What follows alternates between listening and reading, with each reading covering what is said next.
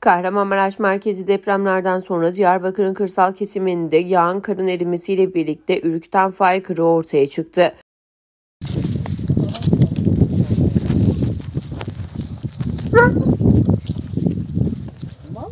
O görüntüler köy sakinlerinin cep telefonu kameralarına yansıdı.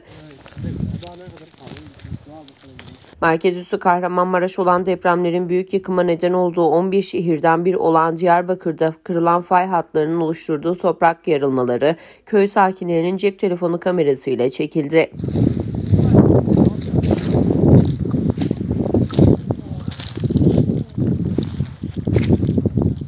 Diyarbakır'ın Bağlar ve Yenişehir ilçelerinde can ve mal kaybına neden olan 7,7 ve 7,6 büyüklüğündeki Pazarcık ve Elbistan merkezi depremlerin ardından Diyarbakır'da fay hattının bulunduğu Hanidice ilçelerindeki depremleri tetikledi.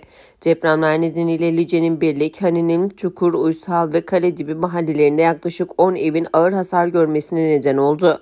Hani'deki depremlerin merkez üssü olan Karidibi Güzelce'de topraklarda fay kırıklarının toprak yüzeyindeki karın erimesiyle beraber yarıklar oluşturduğu ortaya çıktı. Köy sakinlerinin görüntülediği metrelerce uzanan fay kırıklarının oluşturduğu bölgede derin yarıklar ve çukurlar görülüyor. Hayır.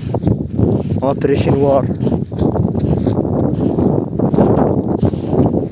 Öte yandan fay kırığının ortaya çıktığı bölgede Kandilli Rasathanesi Diyarbakır Karadibi Hani merkezli bir depremin meydana geldiğini açıkladı. Türkiye saatiyle dün 23.59'da meydana gelen depremin büyüklüğü 4 olarak açıklandı. Meydana gelen depremin derinliği ise 9 kilometre olduğu duyuruldu.